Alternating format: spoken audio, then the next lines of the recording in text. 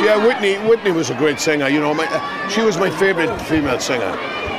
The best voice, the, the most natural, sexy sounding person that I've, I've ever heard, and it's, it's, a, it's a shame. And what is it about these superstars like Michael, like uh, like Amy, you know, that were dying? Like, do, you, do they need more help?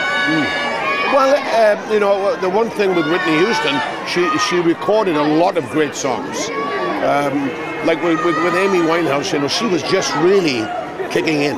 She had a lot more, uh, you know, to, to, to give us. But uh, but Whitney, I mean, she's only 48 years old. It's still young, you know. But I mean, you could see the decline over the years and everything. Do you think people should have intervened more, a bit more, or do you think that we can't couldn't help it? When, they, when people get involved with, with the, the certain things, you know, show business, you have to be strong in order to survive in show business. And um, sometimes you get tripped up with things. And, you know, a lot of my friends in show business, Elvis Presley being one of them, uh, died a, a, young, a young man. And, and, the, and the same now with, with Whitney Houston. Same with Amy Winehouse. You know, it's, it's a shame that talent like that um, has to be cut short. The greatest performance of, that Whitney did, you mean? Well, I think everything she did.